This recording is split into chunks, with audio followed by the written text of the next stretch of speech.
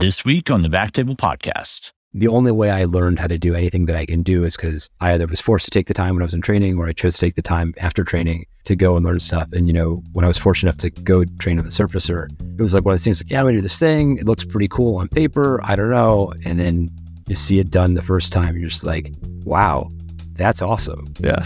I want to do that.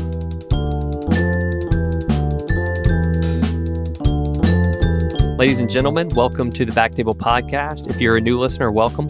For all of our regular listeners, welcome back and thank you for listening. You can find all previous episodes of the podcast on iTunes, Spotify, or our website, which is backtable.com. Very easy to remember. Subscribe to the show, leave us a review, or reach out to us on social media. Now, a quick word from our sponsor.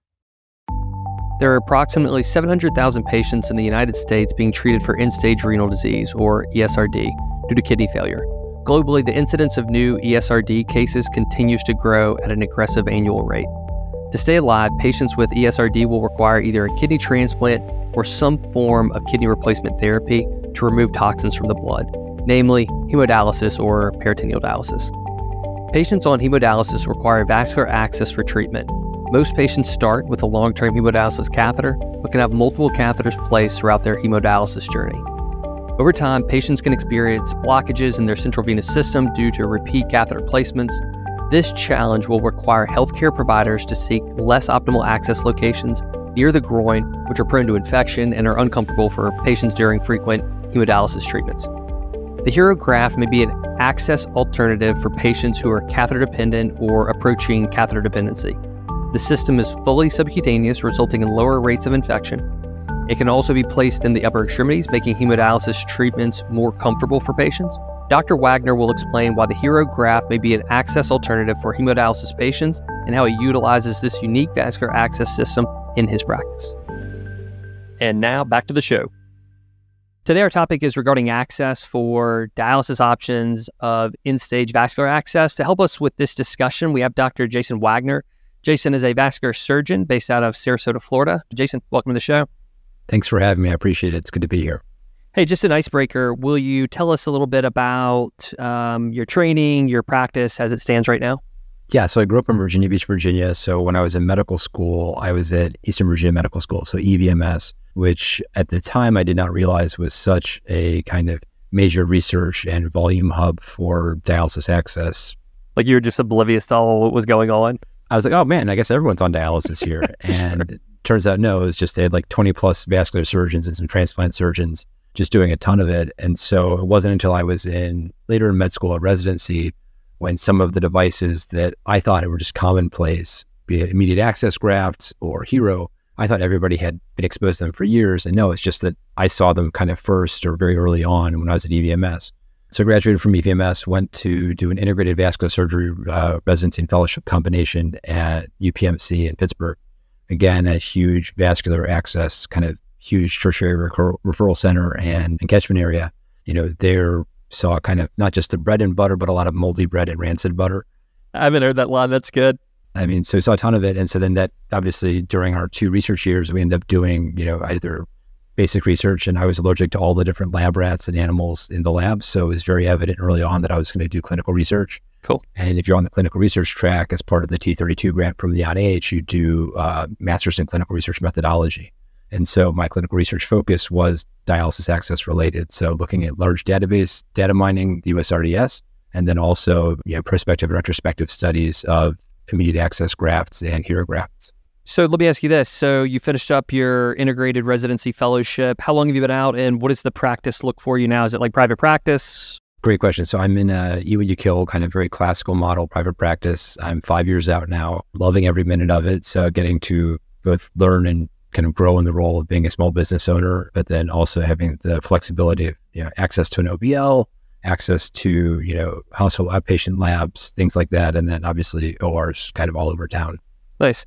The biggest change for me, you know, in Virginia, Virginia Beach, and Norfolk, Virginia, there was a decent, you know, amount of patients of varying ages and varying body habitus. In Pittsburgh, it's skewed a little younger, but also heavier. And so, you know, I think anyone over the age of 80, they just wrapped them in bubble wrap and shipped them either to Arizona or to Florida. And then when I moved down to Florida, I figured out where all those people ended up. and so I have like the healthiest, they're end stage renal, but I still like the healthiest 90 year olds or like the sickest 35 year olds. Wow. And so learning how to care for the, you know, nonagenarian as a functional human has been a, uh, dialysis has been kind of a, an interesting kind of skewer learning experience early on. Cool. Very good practice. A couple more questions about the practice. So how many docs are in the group? Is it all vascular surgeons? Do y'all have cross specialty, anything like that? Yeah, six of us are operative. We have one additional surgeon who used to operate, but now is just doing uh, clinic and seeing patients in clinic. We have kind of a nice pure sole specialty, it seems especially vascular surgery issues. I'm the only person in our group that does peritoneal dialysis. I'm the only one doing laparoscopic procedures, but we kind of just general vascular practice. I skew kind of a little bit heavier balance wise to dialysis, but still doing, you know, aortic, deep vein, et cetera. All right. So I kind of set the stage for end stage vascular access. But really, like the podcast I'm trying to drill down on, and we'll try and cut out some of the fluff, but like we want to talk about the hero graft. And so, without just launching into the hero graft, where you talk about like end stage vascular access and how you think about that patient population? Yeah. So, when it comes to end stage vascular access patient, you know, it's a lot of, I, I kind of break it down into, it's, I mean, aiming with anything vascular access, right? It's going to be inflow and outflow. So, I have patients that are end stage vascular access not because of any kind of venous outflow issues, but purely because of arterial, you know, have severe peripheral arterial disease or diabetic vascular disease or end stage renal disease combination with the, you know, arterial calcifications associated with that. And then on top of that, you know, diabetes or PED and a smoking history, it's that patient population. Those are the ones that are actually, I think, probably the hardest to manage because I could figure out some sort of, you know, creative outflow 99% of the time. But if I don't have a way to, you know, plug an inflow in any way, then that's the person that's going to end up, you know, with uh, a graft, you know, south of the horizon, you know, on their leg, or it's going to be you know, somebody who I'm going to be having catheter dependent, or I might try and, you know, coax them into bailing out towards peritoneal dialysis to get them off of the need for arterial inflow. So that's the arterial side of it. On the venous side, especially in Sarasota, I have patients that have been on dialysis for 15, 20, 25 years. And, you know, if you look at their arms, they have, you know, you can count, it's almost like uh, on a tree, you can count the rings. I can count the rings of how many, you know, there was your brachiocephalic. Okay, there was your brachiobasilic. There was your first graft. There was your second graft. There was your third graft.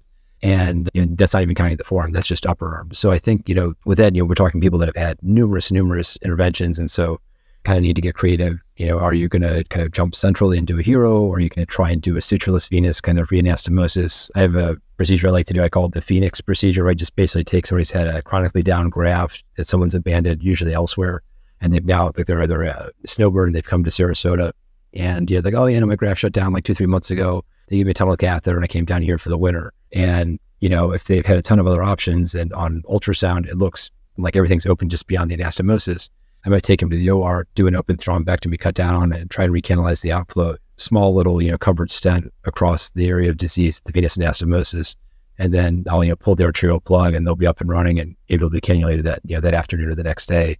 I call it a phoenix procedure just because like raising it from the ashes. I like that. Yeah. So, you know, I, I, try and first, I guess, make the most of what I have before I have to put anything else into them.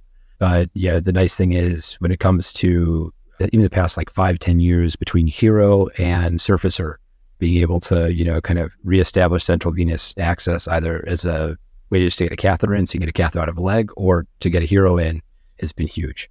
So let's tackle, I mean, because you, you talked about the two devices I really want to touch on advanced tools to handle patients with limited vascular access options. But I want to talk about the HERO first. So, first, what does it stand for? And can you just, for people who haven't seen it or aren't familiar with it, we have plenty of trainees out there. We just kind of give it like a high level overview of like what exactly the HERO graft is. So, the best way I can describe a HERO, it stands for hemodialysis reliable outflow. And the idea of reliable outflow in hemodialysis, some would say that's like a misnomer. It's like a never event. It's not a thing. With hero it is. So the best way to describe it, uh, and the way I tell my patients, I say, oh, you know, think back to like the 60s or the 70s or whatever they last manufactured the El Camino, right? It's a pickup truck in the back and it's a car in the front. So it's like a pickup car.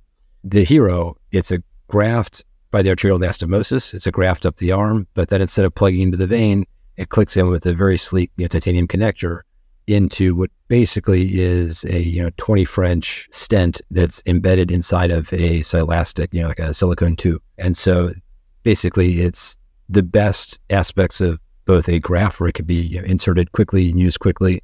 It's a suture arterial anastomosis, but then you're skipping beyond the entire axillary and subclavian segment. you know, and per IFU straight to the jugular and straight down to the uh, SVC and the cavoatrial junction.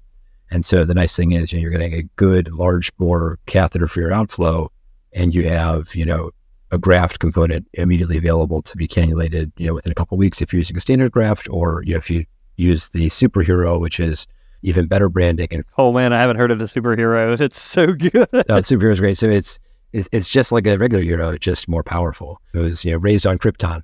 The superhero is the regular hero outflow component, but instead of having a graft that's already pre-connected to a little titanium coupler kind of quick disconnect click in thing that goes into the silastic tube, it's a thing that joins the silastic tube to a pressure fitting onto a different type of graft. So if you, you know, for instance, needed to revise a graft and plug into it, or if you needed to, somebody's only access was a right IJ-TDC or a left IJ-TDC, you would simply rewire that, you cut down on the neck, rewire it, drop your central venous component, put it where you want it to be, tunnel out the distal component to the deltopectoral groove in the shoulder, and then you're going to basically hook this little pressure connector, pressure clamp connector onto the tube, onto the venous outflow component. And then you basically just slide the uh, graft overlying the other end and it friction fitting clicks into place. So you can hook up an, a Gore Acuseal or a Flixene. And the benefit there is you can take somebody who has no other access, you take out their TDC, you put in this thing sew in the graft, and you have an immediate access or early cannulation graft ready to be used right away. And so I've had patients that we've literally sent from the OR to the dialysis unit, and sometimes we'll even access them in the dialysis in the OR with their dialysis needles, you know, tegaderm everything down sterilely, and then send them to the dialysis unit. Ideally, you know, we just dialyze them beforehand, give them a day or two off, and then stick them in the graft. But it, it's nice because a lot of people used to have to just take the regular hero, cut off the majority of the graft portion, then sew on an immediate access graft so it's one additional anastomosis, extra time, a waste of, you know, a graft component. And so they've kind of figured, oh, a lot of people are doing this. Let's, you know, kind of make things that kind of meet the need. And so I think a couple years ago they came out with it and it's it's very slick. All right, superhero, like it. So talking about the hero seems very nice. What patient population is this for? Like when do you get to where you start considering having a patient for a hero graft? So the folks that I mean, if I have a, a way to, and I see, you know, if someone has they burn up both, you know, arms as far as axillary veins, you know, brachial veins. So if you're looking to have to basically be doing, you know, an axillary artery and vein cut down in the, you know, infraclavicular space to get your inflow and outflow, you know, that's somebody where if I'm having to go that high up the arm to get a venous outflow, that's a pretty morbid thing. And I always think, you know, what's the worst thing that could happen to someone with a dialysis access aside from just like unmanaged or unmitigated steal where they get an ischemic extremity? It's going to be, God forbid, it gets infected because in vascular surgery, and I'm sure like in IR, you're always thinking, what's the next? You're not just preparing for this surgery, but like, what's the next one or the one after that? And I always think, okay, how much is this going to suck to take out if it's infected? And so, you know, and I've had them show up for others. I've done cases back when I was in training where we've done, you know, axillary cut downs for, to get our venous outflow because everything in the arm was just, you know, inaccessible or it's all scarred down. And when those got infected, it was just, or if a stent was at that area, you had to take out an infected you know, stent graft. That's a really morbid operation, and you're worried about brachial plexus issues, et cetera. The nice thing about the Hero is you're just going straight to the jug. If it's open, you can get a wire through it. You can you know, balloon it open, get the central venous outflow, you know, to basically the catheter component in. You've got your outflow. You can connect that any way you want. You know, tunnel it how you need to to get the graft connected to it. So for my patients that have had, you know, that have actually going back to the people I try do the most heroes on, I'm actually using it to revise persistent or recalcitrant outflow issues in that proximal brachial to axillary to subclavian region. Like I a ton, I put a couple stents in, keeps coming back or going down. But you know, their fistula, be it a brachiocephalic or a brachiobasilic, is still open, and they just have massive arm swelling from their central venous occlusion or stenosis.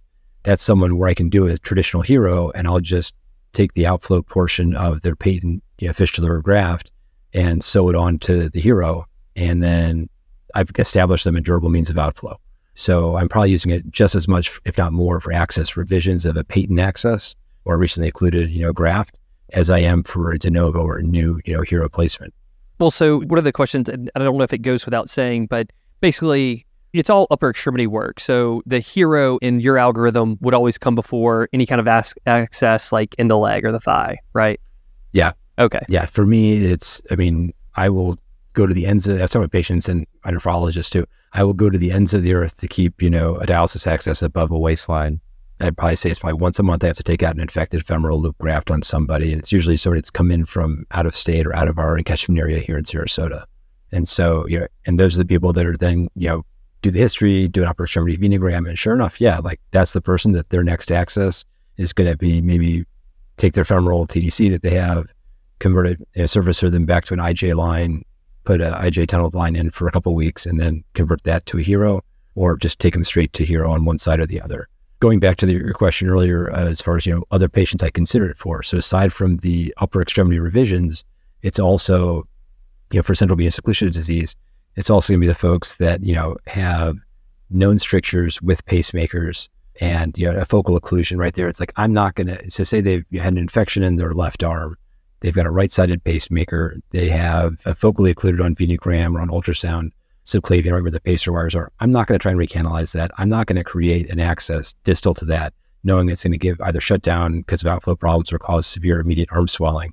You know, that's somebody that I'm going to say, okay, look, here are options. Your jugular is open. I can bypass around your pacer wires by going to your jugular and down to your SVC that way. And I can get them a good durable access that will work the first time as opposed to, you know, kind of see if it takes fistula or the, uh, and more often than not, they'll work, but they're just going to get massive arm swelling. And then the morbidity of that is just terrible. So I guess my next question is how exactly do the do you do the procedure? And if I had to guess, the hardest part of the procedure is working out how you're going to get like the catheter side of the catheter like in the, the atrium. But I just want to kind of hear about like the process of actually putting in a hero graft and then we can actually dig into like the advanced stuff, which I think will like kind of segue us into the surfacer. But just tell me like how do, how do you put in the hero? So the first thing is getting that central venous access because if I can't get the catheter in, you know, I want to make sure I've identified a good arterial target for my anastomosis. So you know, if it's going to be cutting down on an old graft near the uh, distal upper arm, and I'm going to my plan is to use that as my inflow and just pull the arterial plug, so I'm not having to manipulate the brachial artery anymore, or if I'm just doing a new brachial artery anastomosis, I'll identify that on ultrasound first. I know where I'm going to be, you know, cutting down or getting arterial inflow. So then the next thing is going to be just making sure I can get into the SVC. So if they already have a tunnel catheter ipsilateral to it on the same side, I'm not as worried about it because like I know I've got at least a 14 or 15 French hole to maybe I need to expand it a little with a balloon or dilate it you know, serially, but I know I've got a channel to the SVC there. So that's going to be my first thing. If they've got a tunnel catheter in place, my usual thing will be I'll cut down on that, you know, at the neck, at the venotomy, take the catheter out, plug it with, you know, usually a 10 or 15 French sheath just to keep a channel there, then I'll cut down on the arm, get my arterial inflow, make sure it's okay. Once I've got those inflow and outflow at least roughly established, I'll make my third incision at the pectoral groove, you know, kind of in the anterior uh, medial shoulder. And then from there, I'll work on getting my venous outflow into place. And so I have a stiff wire, usually either a straight Lundy or a Meier wire or Amplatz, you know, always you know, straight down. I confirm it. I always save a picture to make, you know, the malpractice gods happy of it going from the neck all the way, you know, through the cavoatrial junction down into the uh, IVC distally. And it's a nice, good, strong rail for which to you know, do serial dilatation over, or if I need to balloon it, if there's a bit of a stricture, you know, or fibrin sheath from a prior catheter being there for a while. And so if I can get my, you know, Hero tearaway dilator sheath into position, which is a, you know, it's a 20 French, it's a pretty good size thing. If I can get it into position and get it down, then from that, you basically advance the venous outflow component over its uh, removable dilator and stylet, which is then over the stiff wire. And you trick is you got to use, you know, sterile, you know, uh, water-based lube, get it lubricious, as they say, and then basically slide it in. And the big thing is, you know, years ago, people used to have problems with it where the tearaway sheath would kind of wrinkle or crinkle. And that is really, they've, they've fixed that over the past couple of years. I think they've revised it, I think, two times since. And that's been really nice because it's that to me is always the most stressful part of the procedure is just getting making sure the sheath doesn't tear or break. And now they're very reliable, which is great.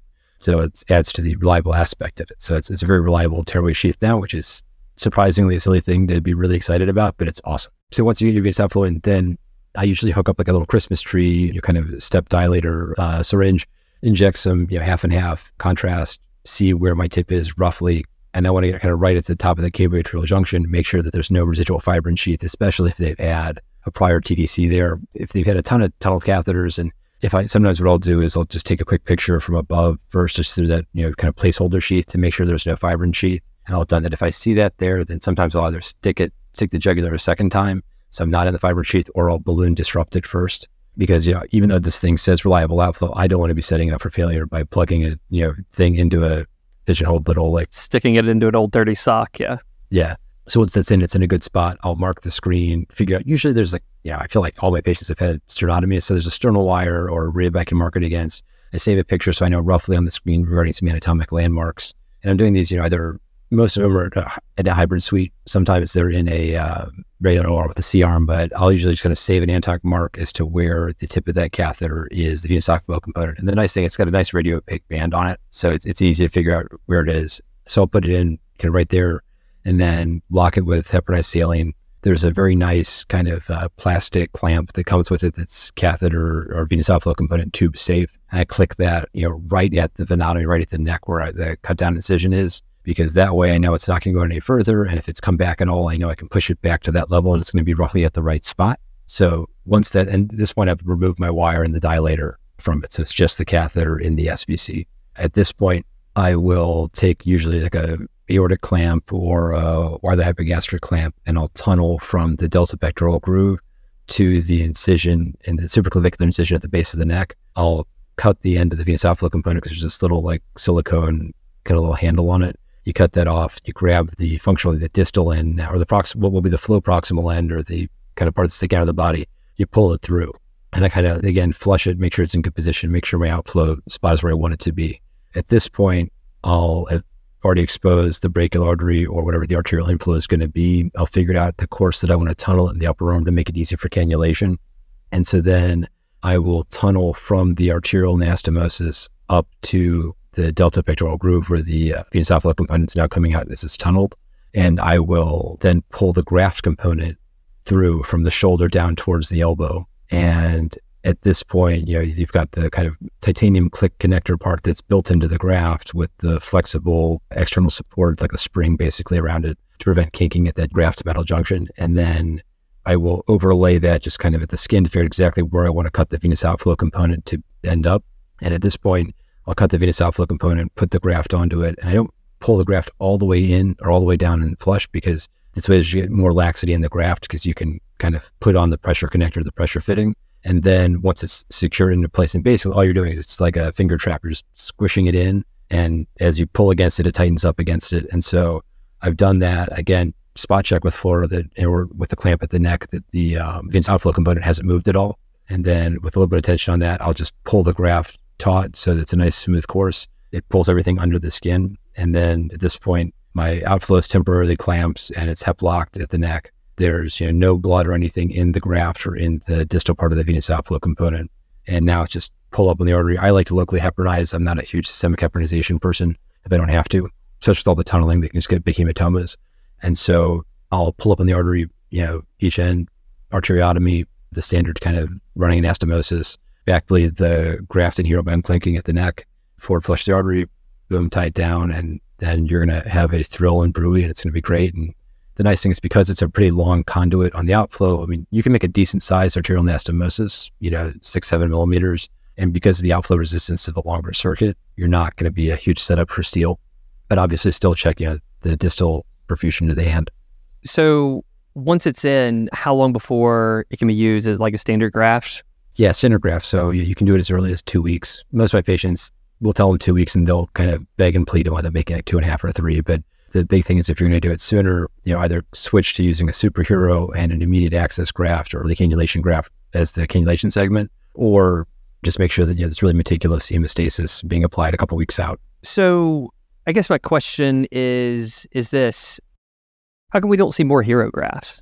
Like how common are they? I mean they're they're in the KDOQI guidelines, right? I mean like there's a specific mention very hero graft and, and so I guess uh, I mean like so I, I came from I trained at a tertiary referral center we saw a ton of these. I kind of thought they were commonplace. And then when I got out into practice, I mean, every now and then, but they're, they're kind of like a rare bird in my scene. So I just want to hear it from your side. Yeah, I mean, so I mean, I do a ton of them, and even I am surprised by how rare I see patients with hero grafts. So I think it's you know a couple different things. You, I think early on, I think got a bad rap, but I think people is very much a learning curve. You know, people were putting them into anatomy that wasn't necessarily the most favorable people were trying to rewire subclavian lines back when people were getting subclavian things. So they were kinking, they were kind of going off IFU. I think part of it's just simply the patient population. I mean, these aren't just end stage renal, these are end stage dialysis patients frequently. So their life expectancy isn't going to be as long. These are the folks where in the past it was only being used that Hail Mary, okay, you know, maybe another six months to live, but we don't want to do it with a catheter. And so they're kind of, people are getting kind of tuckered out or tired with it. I think part of it is people sometimes are able to bail out to PD. So if you run out of arterial options or you run out of venous options, PD is growing, home based uh, dialysis is an option. You know, there are certain things you need for patients to have anatomically. Obviously, I need a SVC and a jugular to get into somehow. I need arterial inflow somewhere from the arm. But the other thing you need to make sure is that they have a good systemic, consistently high, high enough systemic blood pressure. So if someone has a systolic kind of resting, you know, for if they get that um, interdialytic hypotension that happens in a lot of dialysis patients, if they're running with a systolic of, you know, 80 or 90 or barely 100, that's the person that's going to get to a low flow state and they might clot off their access either on the circuit or while they sleep at night. So I think, you know, that's some of the patients that might get to the point where they would need a hero might not qualify because they've got such severe interdialytic hypotension that they're not going to physiologically qualify. And like you can bump them up. I think probably a third of my hero patients currently, and every single one I've had to declot has been somebody that's had persistent hypotension. So now they're just managed with midodrine and or, you know, occasional Sudafed as an extra bump if they're still running low. Gotcha. Just as an aside, if you do declots, isn't the hero graph like the easiest thing in the world to declot? It is the yeah. easiest thing to declot. It is like, you know, whether whether you're a cleaner person or a mermaid person or a, you know, suck it out type person with an angiocath.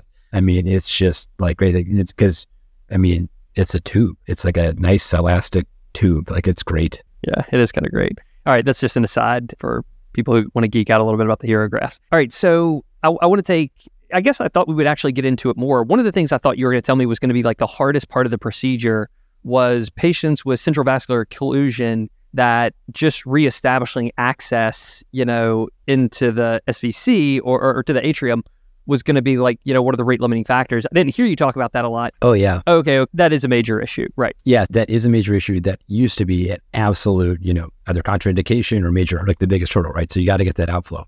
And so I used to think of it as this like this impossible feat. So you see people like doing the crazy aggressive, you know, RF, you know, recanalization or the tube needle from below or, you know, et cetera. And so the nice thing is, you know, technology and industry has evolved to meet this need. And so, you know, really Bluegrass and now Merit owns the technology and has, you know, helped kind of make it safe and available throughout the US. And so the surfacer, it's great. I mean, I was part of that first group that was at the, you know, FDA IFU training down in Houston and I mean, it was honestly, it felt like being one of the cavemen hanging out with the people, like the, the first caveman that created fire. okay. And you're like, oh, this is warmth. This is great. Like, you can make this. It's like, oh, like you can make it so I can just always pop back into the right IJ or create a new right IJ and just pull in either a TDC or eventually a hero.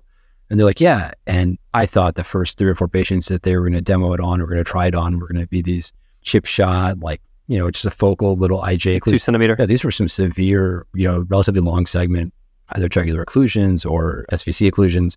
And yeah, one guy even had a trach. I mean, it was some very aggressive stuff. And it was just, I mean, obviously, these are the surgeons that have been doing and the interventionalists have been doing it as part of like, you know, the safety trial. It was just awesome. And so with that, it was like, all right, cool. Well, aside from arterial insufficiency, I, God willing, will never have to go below the waist ever again for an access. And so if I can Surfacer somebody and I can pull it at TDC, that person can get, you know, a right sided hero. Okay. So it's kind of game on for CVOs. But before you get too far into it, will you just tell the audience, like, what is a surfacer? What are the components of this? Like, why do you like it? Go ahead. So the surfacer is imagine someone took there's a that movie right the honey i shrunk the kids right you know so now we're really dating our now we're really dating ourselves here early rick moranis yeah so early rick moranis days everything seems really big. So, but I think there was a sequel or a secondary sequel. It's like Honey, I Blew Up the Kid. And so it's kind of like a Honey, I Blew Up the Kid. It's basically a dialable curvilinear needle guide that you will use fluoroscopic you know, kind of landmarks and fluoroscopic targeting to basically direct a needle guide out. And then you have a step advanceable needle wire that is a super sharp tipped wire that you'll advance through this curved needle guide directed towards a very, very fancy polished stainless steel washer that you're taping at your target exit site on the skin. And you basically kind of line it up. And then you, once you're lined up and oriented and you've done a two view to confirm you're appropriately oriented, you're basically with the, you know, you're accessing from the right femoral coming up, you know, so the steps are come up from the right groin. If you're rewiring a femoral TDC or just a fresh access, coming up right groin, up you know, the iliac vein, up to the S- IVC to SVC. And you basically are going to first go through this with a you know glide wire to catheter, get as distal as you can. Then you put a stiffer wire there to guide your support sheath up. Then you're going to guide your hero device, your hero, your surfacer device up to this position. And then you're going to have your targeting disc, which is fancy a, a washer that's tegadermed in position at the skin. And you're going to kind of look down the barrel of the washer to the orienting functional like crosshairs are opening in the tip of the surfacer. Through this, you're going to advance your curved needle guide out. And it's, it's functions, you know, it's a sharpish hollow tube on a curve, kind of like a pioneer. And then you're going to just advance a needle wire. It's a wire that's super sharp straight up through that, and that will tent the skin or poke through the hole. Ideally, if everything's just right, you'll get the bullseye and you'll poke through, and you're just happy if it just comes out adjacent to it or near it. And then a couple more advances, then you've got the needle wire sticking, you know, out of the skin, so it's inside out, hence inside out surfacer. Yeah, yeah, yeah. And then you'll advance a little more wire, and then basically what you're going to do is you're going to make a small nick in the skin, and you will actually pull in a tearaway sheath at this level. So instead of pushing and kinking, you're simply just going to draw it back and pull in the, you know, nice tearaway sheath. And then through this, you'll drop a TDC, be it whatever brand you want. And then that will be, it'll be a nice way to develop the track to eventually then convert to a hero. But I mean, you could also use it for if someone needs to get central venous access for a port or other things. You don't necessarily have to pull in these 16 French or 15 French, however big it is. Right, you pull in whatever you need. Yeah. So I mean, it's a nice way to, to get central venous access, you know, again from above.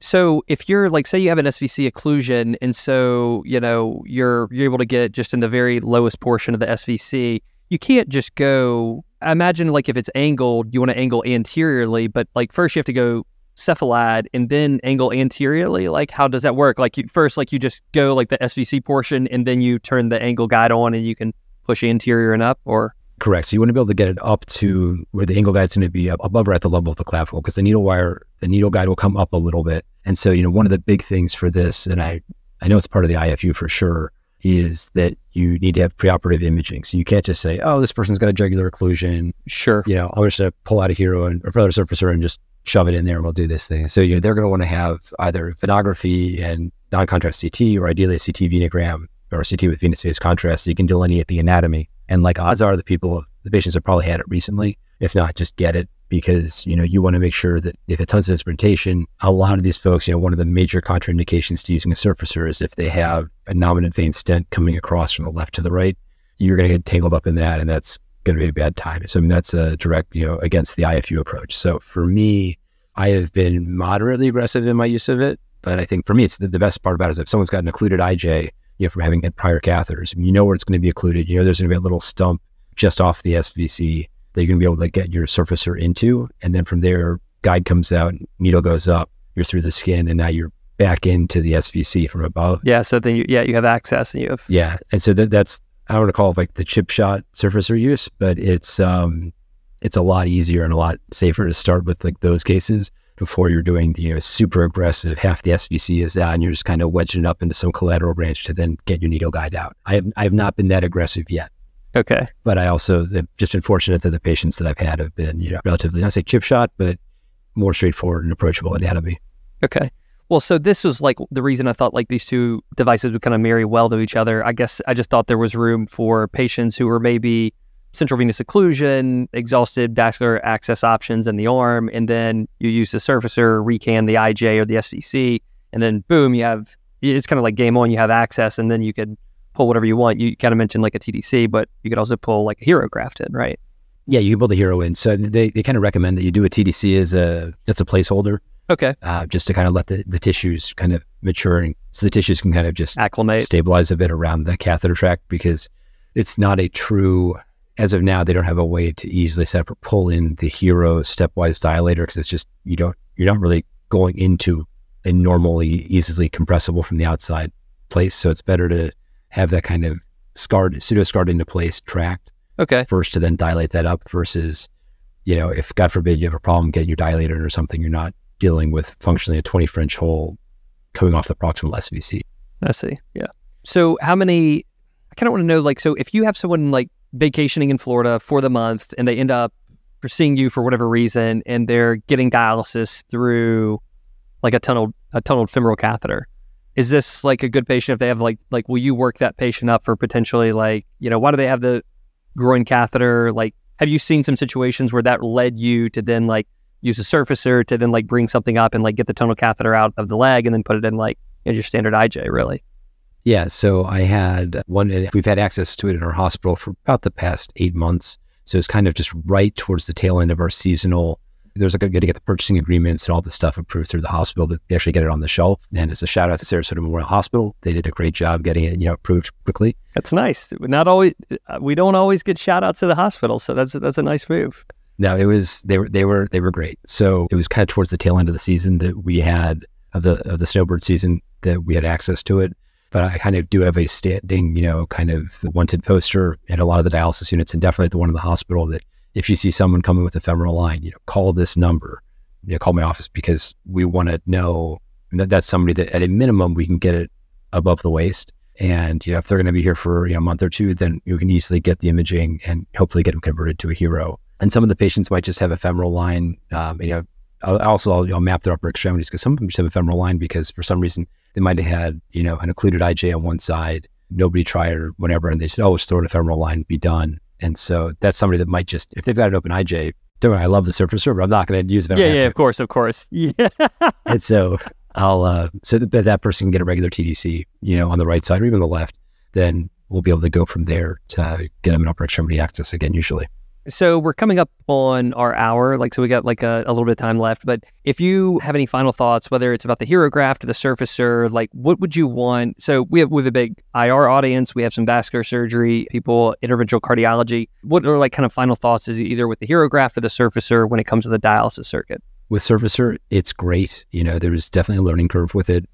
Like how many how many cases is a learning curve? Like I think probably two, two or three Oh, okay. All right. It, I mean, it's, it's not crazy, but I think that's if you're going for like the chip shot, easier cases. If you're going for the really big, hardcore aggressive, half the SVC is out, I would not do that in the first half dozen cases. And I would definitely not do that, you know, outside of a hospital where you have cardiac surgery as a backup. You know, I have a friend in Pennsylvania who did a case, got a couple easy ones under the belt, then kind of swung for the fences.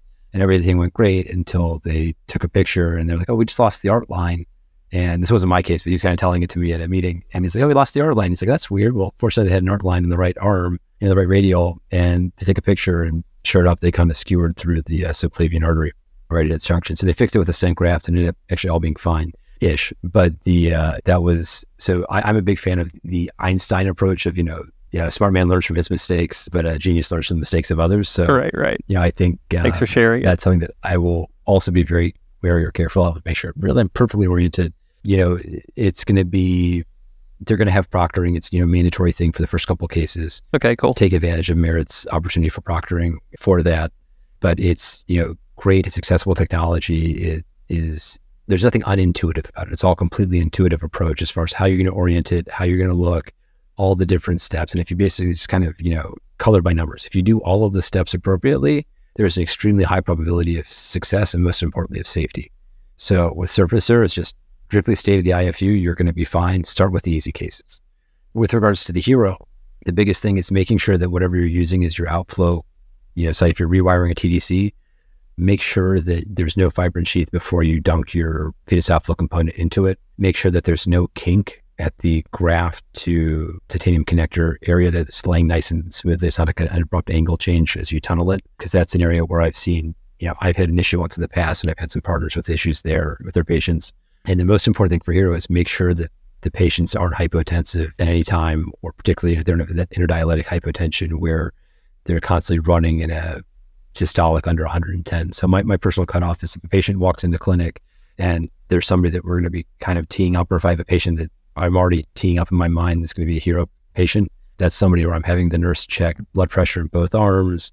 You know, I've, I've had one patient where you know they had a left subclavian occlusion. Their systolic was 80 on that side, but it was like 150 in the the target arm. And it's like, all right, cool. Well, for the record, you're gonna have to like you know get your blood pressure checked in your leg or somewhere else because your left arm's not accurate anymore, and you're not obviously going to blood pressure cuff on your graft anymore. But you know, watch out for the hypotensive patient. All right, one more question. Even though I said that was like final thoughts, resources. So, like, if people want to learn more either about the hero graft, whether it's like the nuts and bolts of it or the surfacer, like, can you give them, like, if, if someone's like, oh my God, I've never heard of this stuff, like, where might you send somebody or even trainees? Yeah. So I'm, I'm hoping that most major, at least in the kind of dialysis belt of America in the Southeast, I'm hoping that all the big academic centers are routinely using it or occasionally using Hero. So with regards to the Hero, I mean, I gladly proctor cases for Merit Medical. I know there are several other physicians that will gladly travel and proctor because, you know, I think going back to your question as far as, you know, who, like why we're not seeing more of them, I think there's just people are kind of weary of it because oh, it's these big catheters, these tubes, these things, all these steps. It's really, I mean, it's a 45 minute case when it's, you know, done correctly and efficiently and smoothly, maybe hour, hour 15, but it, it's, you know, it's not a, once the catheter's in, then it's just sewing the graft on and you're skipping an anastomosis. So it's not that bad. So getting somebody that can proctor a case, you know, Merit has a very good team of proctors, both on the clinical, on their actual employee side, but also physicians are able to go and help out and be there to observe and guide surgeons. I think obviously they have a ton of resources on their website. They're putting together a Think Vascular Access course that'll be sometime in the spring of 2024 that's going to focus on Surfacer, Hero, peritoneal dialysis, and other like vascular access maintenance and management stuff. So it's going to be kind of a, a three in one or four in one kind of half weekend or weekend course. At the VASA, the Vascular Access Society of the Americas biennial practicum, which is like every other year, they have a skills lab. And then I think at even the CETA meeting, they have a skills lab. So if you kind of target dialysis meetings more often than not, the day before or the day after the meeting, there is a skills lab or kind of educational thing as part of it. People are coming down, welcome to come down to Sarasota and hang out with me anytime I've got one going on, as long as the hospital will approve it. Does that happen? People come down and watch you in the lab?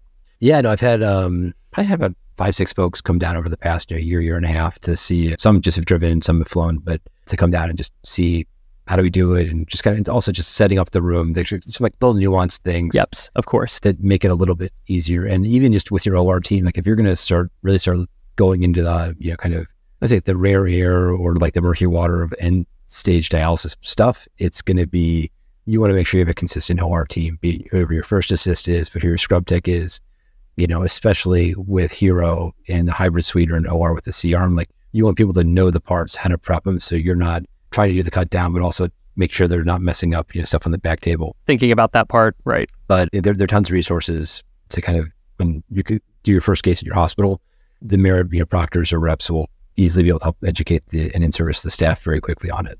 Well, just going back to like people going to your lab and you know for all the docs out there, I think it's I think it's commendable for people that take the time to show people the cases, and also commendable like think about like docs who are like flying across the country to like see someone else like do a case and kind of walk them through that. I think that's commendable on both fronts. So for me, I mean, the only way I learned how to do anything that I can do is because I either was forced to take the time when I was in training, or I chose to take the time after training to go and learn stuff. And you know, when I was fortunate enough to go do that first round of folks to train on the surfacer, it was like one of the things like, yeah, I'm gonna do this thing. It looks pretty cool on paper. I don't know. And then you see it done the first time. You're just like, wow, that's awesome. Yeah. I want to do that. I think we just got the hook for the podcast. To the audience, Thank you for listening. If you liked the show but want more, check out the show notes of this episode. Those can be found at www.backtable.com. And special thanks to the Backtable team, a lot of med students who make that happen for us. For others interested in supporting the show, like, subscribe, or share this podcast on social media. Or just forget social media, just go old school, tell somebody about it. Old fashioned word of mouth, talking to another human is really helpful as we continue to build this community. That wraps things up. We'll see you next time on the Back Table Podcast. Dr. Jason Wagner, thanks for coming on, man. Appreciate it. Thanks for having me. It's been awesome. Thank you so much for listening. If you haven't already, make sure to subscribe, rate the podcast five stars, and share with a friend. If you have any questions or comments, direct message us at at underscore backtable on Instagram, Twitter, or LinkedIn. Backtable is produced and hosted by myself, Aaron Fritts, and co-hosts Chris Beck, Sabeen Dhand, Michael Barraza, and Ali Baheti. Our audio team is led by Kieran Gannon, with support from Josh McWhirter, Aaron Bowles, Nick Shellcross, Josh Spencer. Design and digital marketing led by Brian Schmitz. Social media and PR by Ann Dang Manisha Naganathanahalli, and Manveer Singh Sabri. Administrative support provided by Jamila Kinnebrew. Intro and extra music is Ripperoo by Skeptic Moon. Find us on Spotify or at local live music venues in New Orleans, Louisiana. Thanks again for listening.